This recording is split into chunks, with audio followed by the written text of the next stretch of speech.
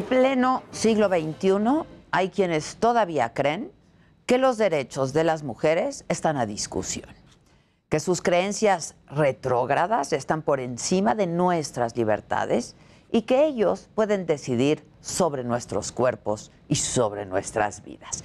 Y un ejemplo de esta actitud patriarcal, machista, también misógina, está en la opinión del expresidente de Estados Unidos, Donald Trump, acerca del aborto.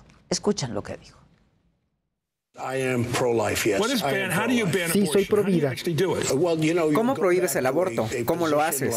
Tú sabes, regresas a una posición como la que ellos tienen, donde la gente tal vez vaya a lugares ilegales, pero tienes que prohibirlo. ¿Crees en el castigo para el aborto? ¿Sí o no? ¿Como un principio?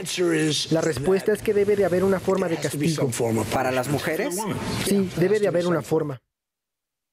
Bueno, el miércoles en Texas, una de las entidades más conservadoras de Estados Unidos, donde el trompismo, la xenofobia, la aportación de armas, los movimientos antivacunas tienen una presencia enorme, entró en vigor una ley que prohíbe prácticamente cualquier aborto después de las seis semanas de gestación, seis semanas, y convierte a quienes lo practiquen en delincuentes. Pero el caso no se quedó ahí.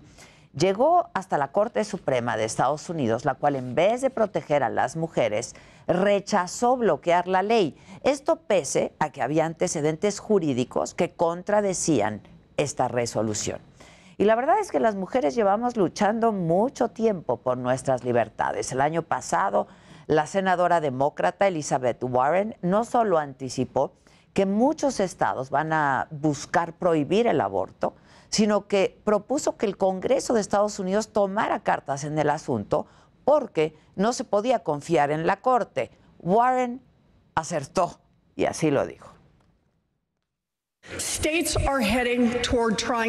Los estados buscan prohibir por completo el aborto y la Suprema Corte va también en la misma dirección.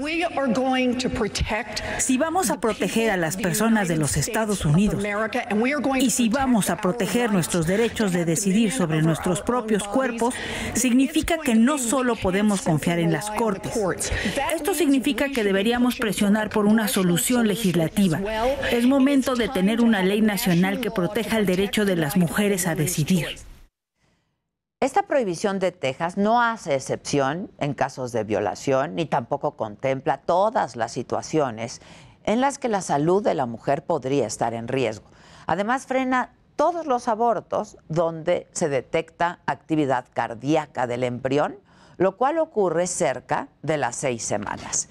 Esto le da a las mujeres unas dos semanas para detectar y confirmar el embarazo, decidir si aborta, conseguir los recursos para hacerlo y llevarlo a cabo. En Texas, un 85% de las mujeres que desean abortar tienen ya más de seis semanas de embarazo. En estados como Nueva York, Washington, Colorado, las mujeres pueden abortar hasta la semana 24. En la Ciudad de México, la interrupción legal del embarazo puede darse hasta la semana 12 y en caso de violación hasta la semana 20. El presidente Joe Biden ha luchado contra esta ley retrógrada, la calificó como extrema. Precisamente ayer un periodista le preguntó a Jen Psaki, ella es la vocera de la Casa Blanca, que cómo era posible que el presidente Biden apoyara el aborto siendo católico. Y esto fue lo que ella respondió. ¿Por qué el presidente apoya el aborto cuando sus propias creencias católicas enseñan que el aborto es moralmente mal? Él piensa que es un derecho de las mujeres, es el cuerpo de las mujeres y es su decisión. Pues piensa bien. Ante la insistencia del periodista, Jen Psaki, tuvo que aclararle que Biden respeta los derechos de la mujer, a diferencia del propio reportero. Se lo dijo así. Él piensa que le corresponde a una mujer tomar esas decisiones. La mujer debe decidir con su doctor. Sé que jamás has tomado esas decisiones ni jamás has estado embarazada, pero para las mujeres afuera que han enfrentado esa alternativa es un asunto muy difícil y el presidente piensa que sus derechos deben respetarse. El siguiente, pasemos a otra pregunta. ¿Y qué pasa en México con nuestro presidente? Él no apoya el derecho que tenemos las mujeres a decidir sobre nuestro cuerpo. Y a lo largo de su campaña y de su sexenio ha dicho que pretende poner la interrupción legal del embarazo a consulta. Y también ha afirmado que prefiere concentrarse en otros asuntos. Vamos a escuchar. En el caso de México, nosotros hemos eh, sostenido que es un tema que debe de consultarse y hay mecanismos para poder solicitar una consulta, solo que este no se trata de eh, decidir desde arriba sobre un tema de esta naturaleza.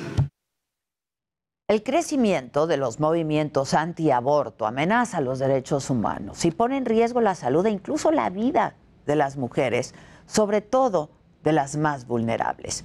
Sin embargo, y pese al enorme retroceso de Texas y a la actitud también de nuestro presidente en este tema, al ver el movimiento feminista en el mundo entero y al participar en las marchas del 8 de marzo, yo sí tengo fe en que tarde o temprano las mujeres tendremos todas las libertades en todo el mundo.